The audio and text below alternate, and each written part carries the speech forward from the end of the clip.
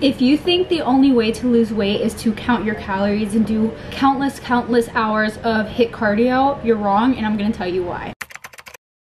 Hi, if you're new here, I'm Sivan. I'm 21 years old. I live in Florida. I do Pilates, strength training, cardio, all of the above. I'm here to show you all the habits I did to lose almost 40 pounds without counting my calories. Now buckle in and let's get started. Number one is making sure that you're not trying to give yourself too many habits to change in such a short period of time. So what does that mean basically? I don't want you to take all of these tips that I'm giving you and believe that you have to be perfect at it in the span of a week.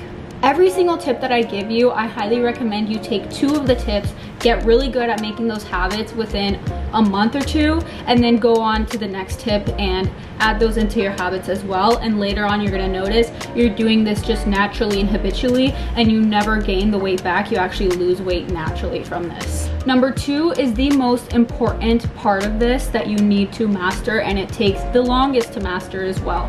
And that is practicing portion control. When I mean portion control, I do not mean look at what's on your plate and you have to give yourself the rule to not finish the plate and only have this amount of it.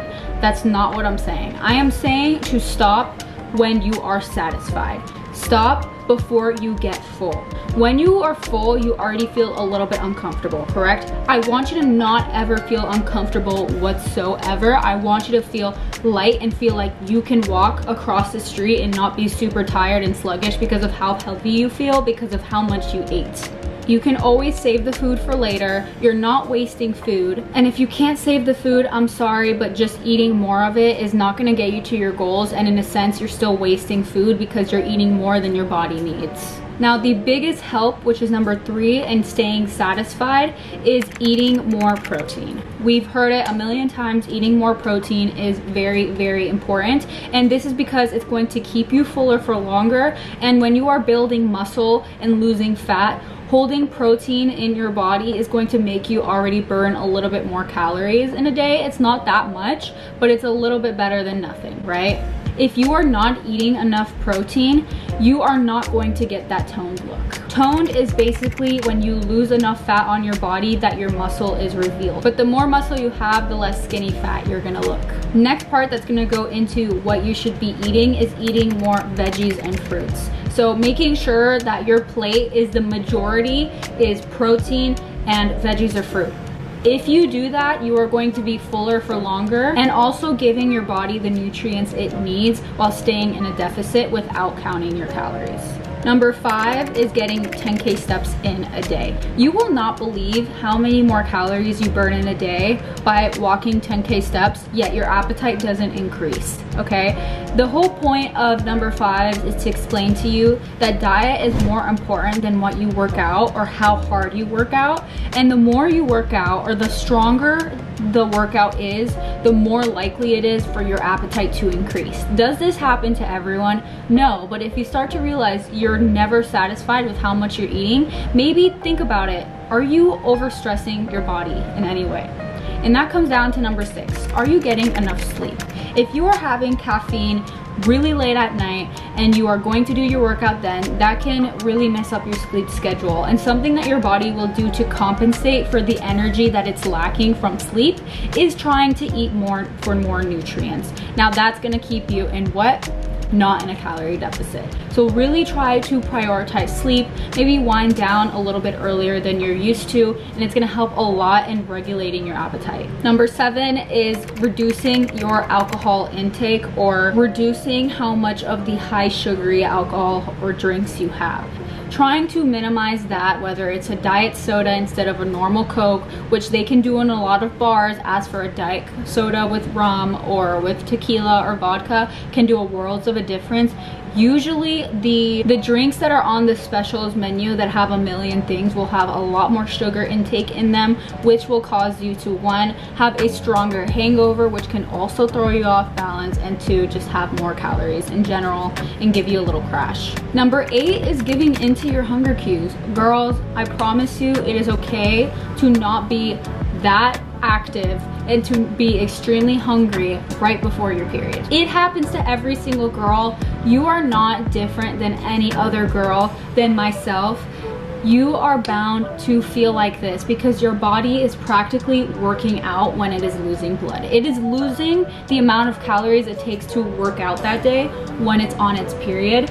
And not just that, but it's doing a lot more for your body. So it is normal for your body to want more nutrients. It does it on purpose. And the more you restrict it from that, the worse the future will be for you when it comes down to giving your body what it needs and reaching that calorie deficit or that goal weight. Number nine goes a little bit into intuitive eating and stopping when you're satisfied. If you've never counted calories, you might not think this, but if you've counted calories in the past and you need help to stop counting calories, number nine is going to be your best friend here and this took me a lot of time to learn but the faster you can learn it the faster you will see results.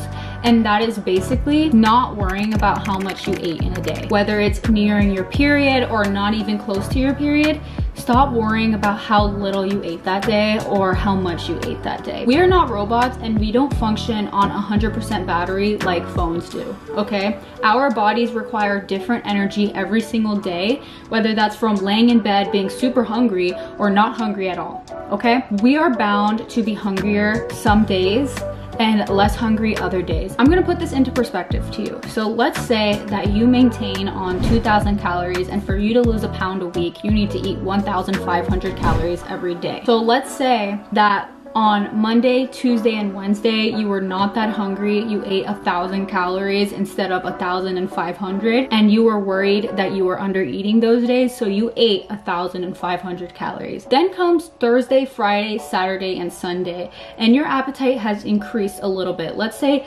Thursday and Friday, you had 1,700 calories. So you're still on a deficit, you know? And then Saturday and Sunday, you had 2,000 calories, right? Now that you think about it, if you add in all those calories in a week, you would have not lost a that week rather than if you instead Monday, Tuesday, and Wednesday just decided I'm not that hungry and I, you only ate around a thousand calories, you stayed like that and then the rest of the week you kept it like that. You would have lost around a pound that week. So I'm not telling you to force yourself to eat a thousand calories for some days of the week so that you can eat more the next of the week. It doesn't work like that. If you listen to your body, some days it's going to not be that hungry at all and just let that happen. Other days it's going to be hungrier and just let let that happen.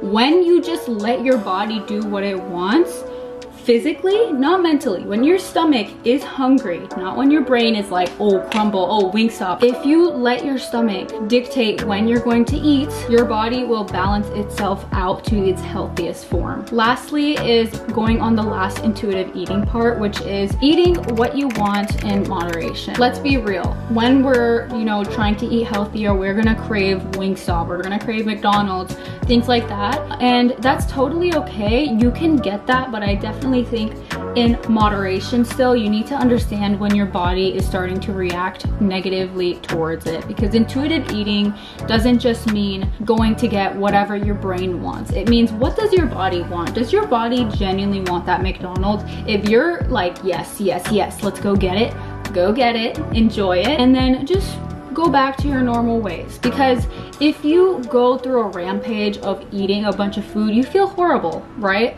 and that's still going to happen even after this video and after having all these tips.